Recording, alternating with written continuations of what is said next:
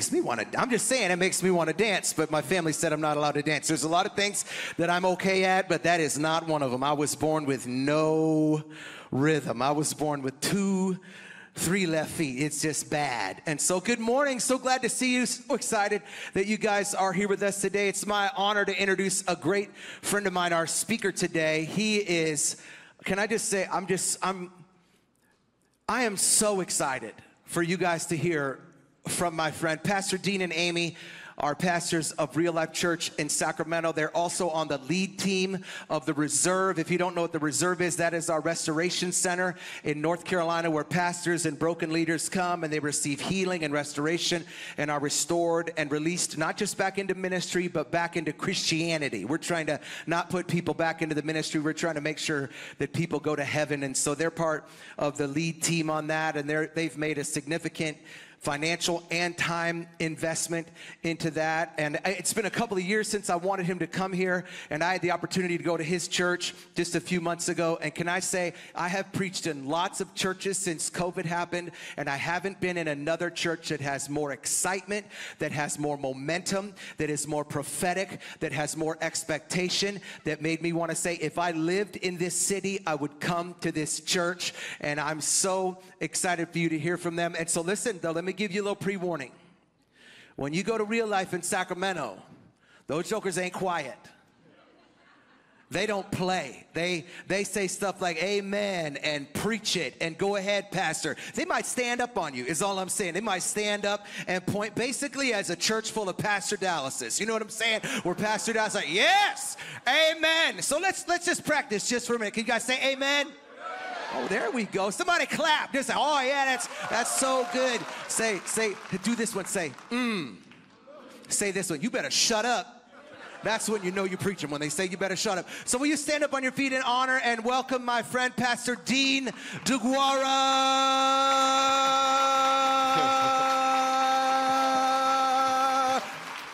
Thanks so much. Thank you guys so much. Good morning, Life Church Green Bay. So good to be with you. And uh, we absolutely love uh, Pastor Sean and Pastor Sonny's heart, uh, especially when it comes to ministering to hurting and broken leaders. Amen? Amen. And um, our hearts really resonate with that, so much so uh, that we're 100% behind uh, the Exchange Collaborative and the Reserve. And so uh, we came out here last November and uh, listened to some vision casting, and Pastor Sean and Pastor Sonny share about that. And I went back to my church and I said, hey, this is what's happening. I want to get behind it. And so uh, our church actually pledged $25,000. And so we've been working real hard. We've been working real hard the last couple months to get that. And so today, we didn't quite get to the goal, but I wanted to bring what I had. We're going to give $21,000 to the Exchange Collaborative, and uh, we're so thankful for what God is doing, and we're expecting miraculous things to happen in people's lives and to see families restored. Speaking of family, uh, my wife and I actually came all the way to Green Bay to celebrate our 31st uh, wedding anniversary this week. This is my wife, Amy. Babe, will you stand for a moment? And uh, yeah, we got to go to Door County for the first time. I mean, we seen goats on the roof, and I mean, you will not see that in California. They'll, they'll, they'll put you in jail for that kind of stuff out there. But, uh, but yeah, it's pretty awesome, man. We had a great, great time. And then uh, the rest of my family, um, my son Josiah and uh, his newly, uh, newly wedded wife, our new daughter-in-law Ashton. Um, yes, they are. They just got married, and yeah, there they are, and uh, just got married in March. And then my daughter here, Mariah, she's a uh, registered nurse in uh, Sacramento. We're actually taking applications. Any single men out there? we definitely believe in arranged marriage now that she's of age. And so, well, hey, today you can follow along on the Bible app or YouVersion app.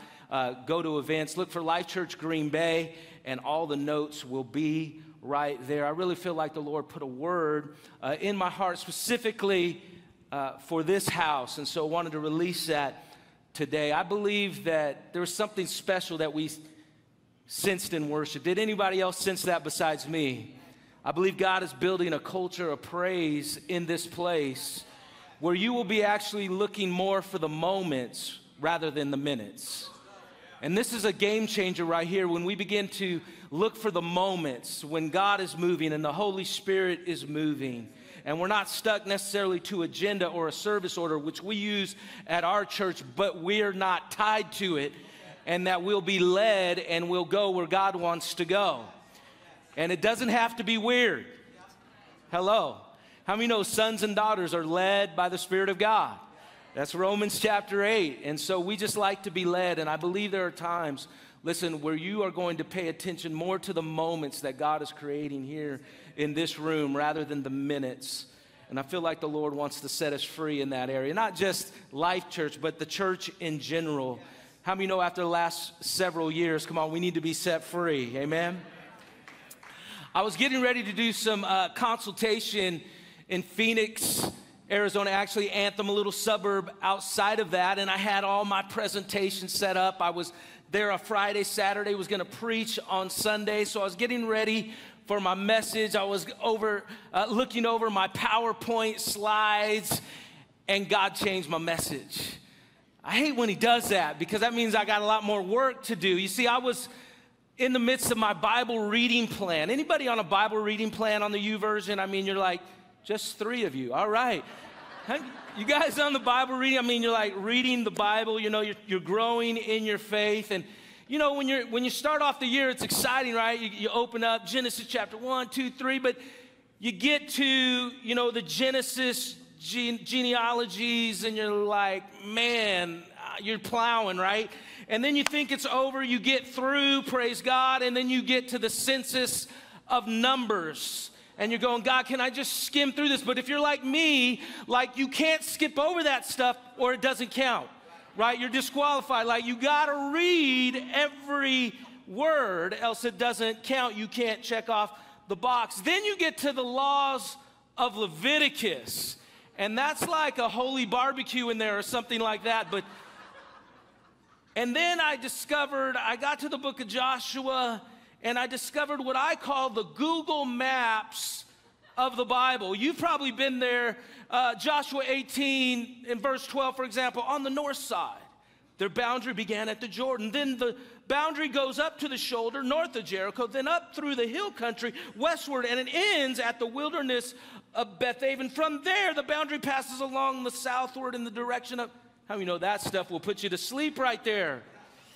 and, and I, am plowing, I'm, I'm, I'm, I'm in Phoenix and I'm plowing through the Google Maps of the Bible and I get to Joshua 19.1 and I'm reading this Google Maps stuff and I, I get to 19.1 and it says this, the second lot came out for Simeon, for the tribe of the children of Simeon according to their families.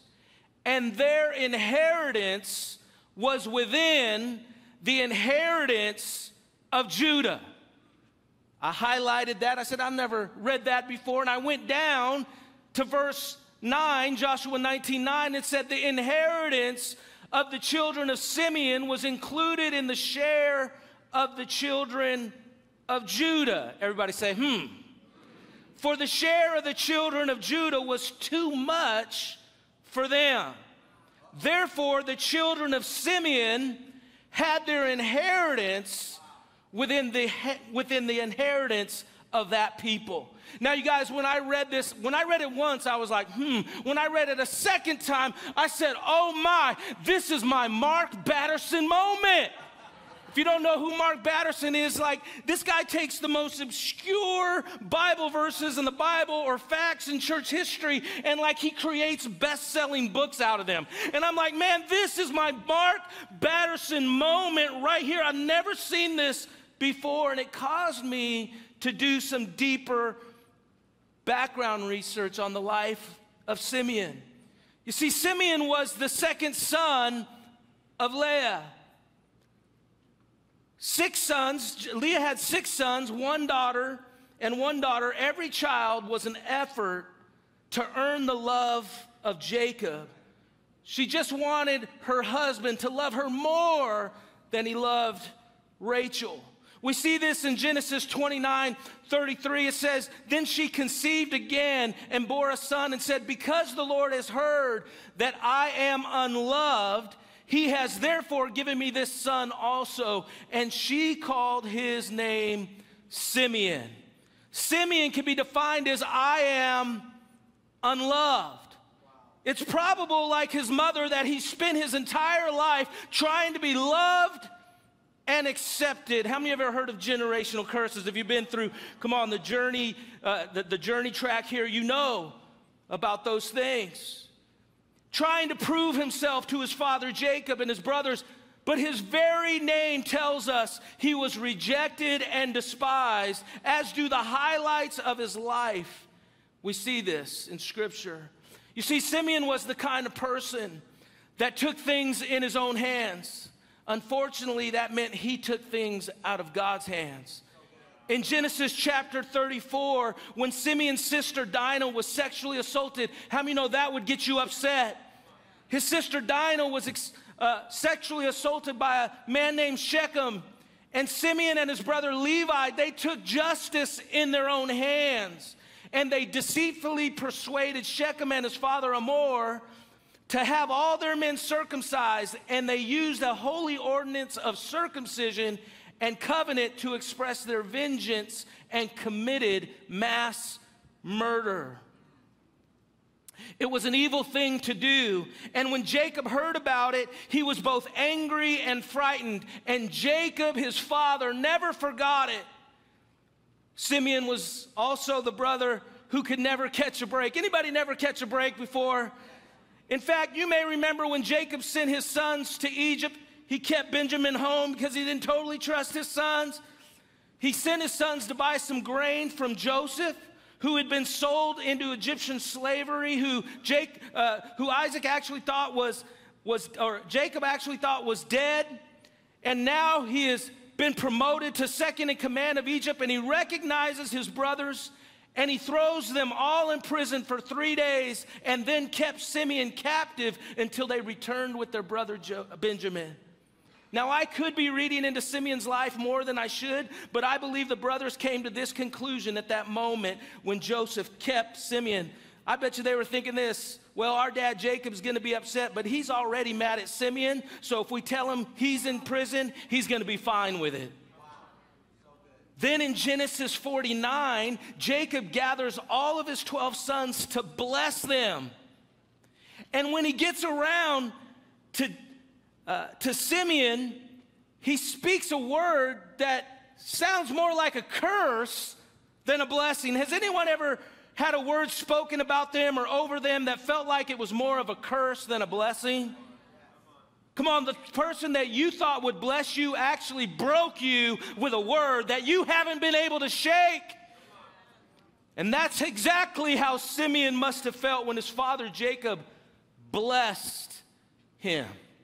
Look at this in Genesis 49, 5 through 7. I won't read all of it, but it says Simeon and Levi are brothers. Instruments are cruelty.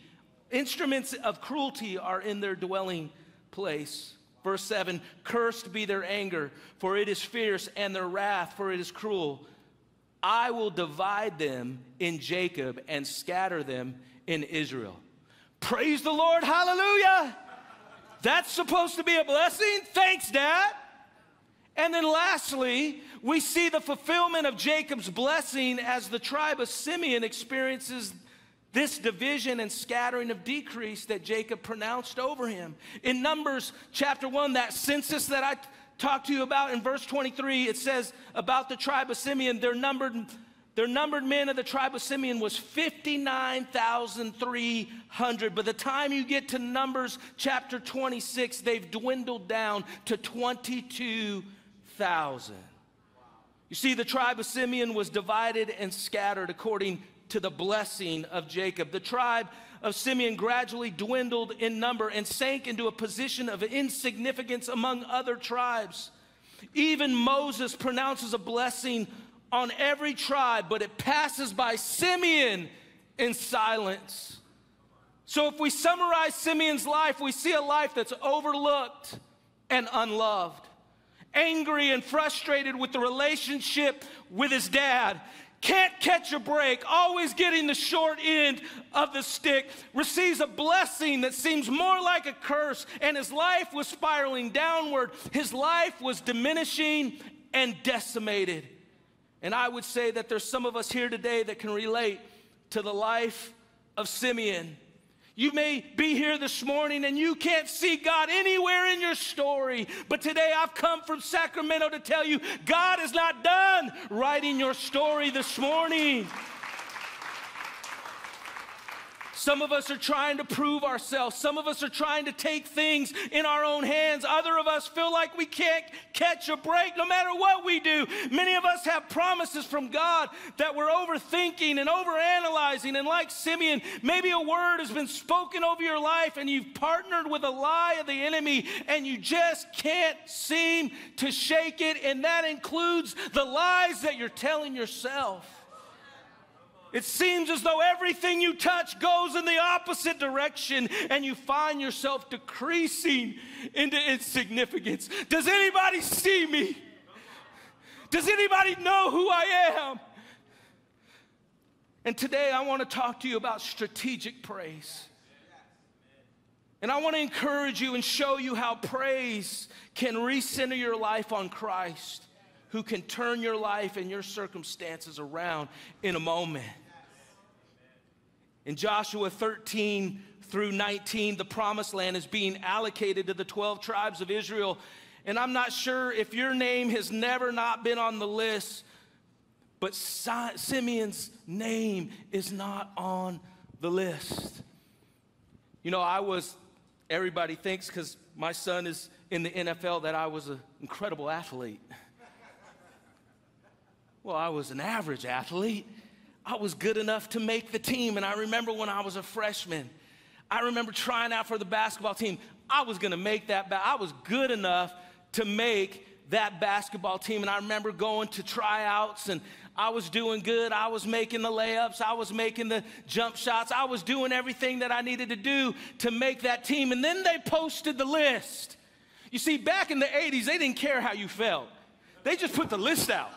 And I remember everybody gathered around and huddled around the list, and I went from the top to the bottom, and I went from the bottom to the top, and then I went back from the top to the bottom, and my name was not on the list. And just for the record, my name should have been on. I was better than Jason Jung. You know, I'm just saying. But listen, maybe you were here and you were overlooked for that raise or that promotion. Maybe the executor of your family will did you dirty. Maybe you thought you should have been invited, but no invitation came. Maybe you thought you should have been on that BFF weekend trip, but you never got a call. You see, we all have a choice in this place. We can throw a pity party, or we can allow praise to point us back and recenter our lives back on Jesus. Back to our scripture today, the second lot came out for Simeon, for the tribe of the children of Simeon, according to their families. And their inheritance was within the inheritance of the children of Judah. Judah means now will I praise. In other words, without stepping into Judah, without stepping into praise, the tribe of Simeon was destined for insignificance. But when they stepped into Judah, when they stepped into praise, they found their inheritance. You see, the tribe of Simeon, they had to take time to reimagine. And maybe this morning you need to just step back and reflect and reimagine your life in the presence of God. You see, they had to shift their mindset from I am loved, and they had to make a decision to now I will praise him. You see, when we step into praise, shift happens. Shift happens. Now, at my church, I would have you repeat it. Can we do that? Shift happens. Your mind can shift, your circumstances can shift. Your perspective can shift. Your atmosphere can shift. Your life can shift. The tribe of Simeon appeared to be outside of the blessing, but listen, praise shifted them into Judah's abundance. You see, God will encounter our feelings of insignificance by revealing our inheritance within the boundaries of praise. Psalm 100, verse 4 says, Enter into his gates, what? With thanksgiving, and his courts with praise. Give thanks to him and bless his name. Can we just do that for a moment? Can you just lift your hands? You might be down here, you might be right here, or you might be up here. But can you just thank God for what he's doing in your life? Can you thank God for the hard stuff, the difficult stuff? Come on, you being overlooked. Can you overlook the offense and can you just give God praise and invite his presence to come and invade your life in this moment? God, we give you praise. Lord, we thank you that you are in the room. God, we love you. God, we praise you in Jesus' name. You see, your significance will never be found outside of his presence. Listen, don't allow feelings of rejection or insignificance keep you on the outside looking in. Stop living your life like God doesn't care about you and allow praise to lead you into an abundant place in Christ. A while back, a friend of mine had texted me. She had just been laid off by the church, great church, that her father had founded. And she texted, she said, Hey, we really want to stay in Sacramento. Is there anybody looking? This was in like this was in that time of, of the economy was was was a wreck, at least in California it was. and they were de- experiencing a decrease in their financial situation. They wanted to stay in Sacramento, but it never happened.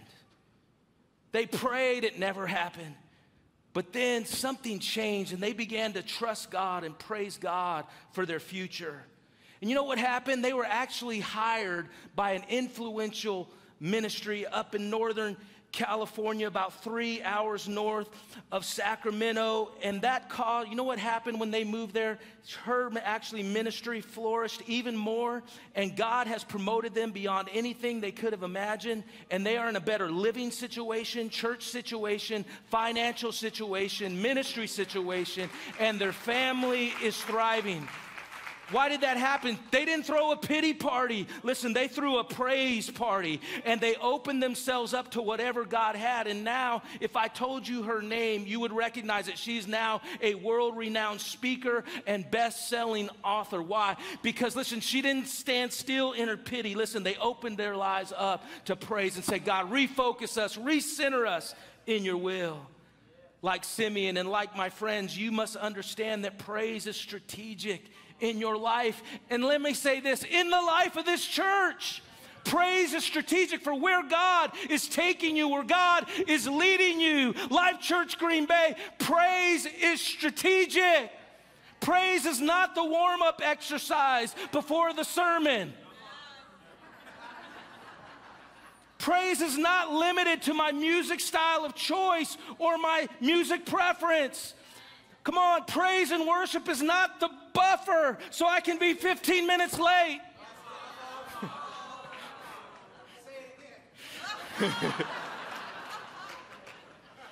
praise is not the fast song. Praise isn't what gets you hyped up so you can make it through one of Pastor Sean's sermons. I'm just playing. Praise is not about our pleasure, it's about bringing Him pleasure there's something happens. Listen, the, the reason why I want to get it, get on, get at church on time is because I understand that God is seated on the praises of His people. Listen, that what God, what, what, listen, what takes some people, listen, 10 and 20 and 30 years, God could do in a 30 minute session where his people are just seeking him and encountering the power and the presence of God. This is how my life was changed. When I was 18 years old, my best friend, he got saved. He invited me to First Assembly of God in Fremont, California, and I walked in the youth group, which was experiencing revival. I didn't know what revival was, but that's what they told me. This group was experiencing revival, and I walked in and I seen people at my school friends of mine, they had their hands lifted up. They were crying. They were singing Christian karaoke on a screen. And I just knew, listen, that there was something in the room. And I found out at the end of the night, it wasn't something in the room, it was someone in the room. And Jesus met me, and He encountered me, and He changed my life. And He can change your life. Praise, listen, for Life Church Green Bay is strategic because where God is taking you, listen, it is a weapon. Praise is a weapon, and today, together, we are stepping out of where we've been. And today, can I just challenge you to step into Judah? Step into praise today. Step into his presence today. Step into his power today. Step into his promises today. Step into his provision today. Step into his purposes today. Step into his plan today. Everybody say with me, now will I praise. See, no matter how painful life is, it's not God, how will you do it? But God, I'm going to praise you through it. Secondly, I just want to encourage you praise gives us access to the undeserved promises of God. The inheritance of the children of Simeon was included in the share of the children of Judah, for the share of the children of Judah, listen to this, was too much for them. I love this verse because ultimately it's a picture of what Jesus Christ has given us freely by grace through faith. You see, outside of Christ, there is no hope of an inheritance, but in Christ Jesus, come on, the lion of the tribe of Judah, we have an inheritance. We have a share of his goodness. We have a share of his love. We have a share of his mercy. We have a share of his promise. We have a share of his undeserved favor. Again, the tribe of Simeon appeared to be outside the blessing, but praise brought them in to Judah's blessing. Without Christ, listen, there is no heaven on earth. There is no access to spiritual blessing breaking through my broken, busted up life. But stepping into praise and encountering God's presence and experiencing God through a personal relationship with Him changes everything. And that's why we sing songs like, Our God is the lion, the lion of Judah. Because what? We're stepping in to Judah. He's roaring with power, He's fighting our battles, and every knee will bow before Him. You see, through Judah, Simeon, who lived his whole life feeling like he was never enough, never thinking he was deserving of love, he encountered a God of more than enough. Everybody say, more than enough. You see, Simeon was included in the share of the children of Judah. That's a picture of grace, my friends. Simeon didn't deserve it. He did everything he could do to disqualify himself from an inheritance in the promised land, but God made it happen, and he will make it happen for you. You see, praise didn't minimize Simeon's mountains. Come on, it magnified the God who moved the mountain. Zechariah 4 7 says, Who are you, O great mountain? We sing a song at our church that says, Who are you, great mountain? Before Zerubbabel, you shall become a plain, and he shall bring forward the top stone amid the shouts of grace, grace. Too. Can you just say, Grace, grace? Listen, Judah's too much was more than enough for Simeon. In fact, I love this. The tribe of Simeon, when they stepped into Judah, the inheritance, listen, they inherited 14 cities and 1,000 square miles. Now, when I read that, how many of you could use a little bit of someone's too much? The good news is in Christ Jesus, you have everything you need because Jesus gave all he had to give. And that's the thing about praise. It points us to Jesus. It creates a place for us. When we step into praise, listen, we step into our place. When we step into praise, everything falls into place. And when we step into praise, listen, we find our place. You see, the Lord has brought you at Life Church because what lies ahead for Life Church Green Bay is too much. Everybody say, too much. One commentary I read said what Judah received was too much for them to handle, more than they needed. And when I read that, I thought to myself, I've always heard God never gives you more than you can handle because He calls people alongside of you that can help you get a handle on it. See, a lot of people think they have to do their own thing to find their inheritance and fulfill their destiny. But Simeon found his destiny within the borders of Judah.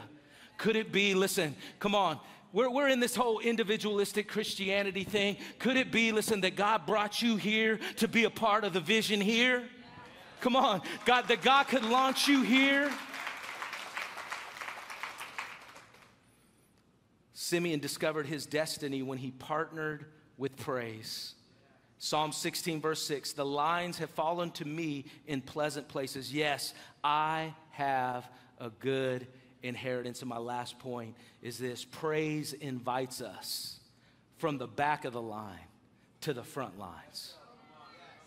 And I sense that God is extending an invitation to you as a tribe to level up your praise.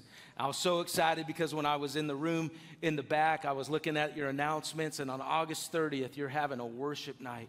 Can I just tell you, listen, the, the, Pastor, I know Pastor Sean and Pastor Sonny and and the team here, listen, they're not just adding something on the menu so that you can say, oh, that might be a good thing to go to. No, no.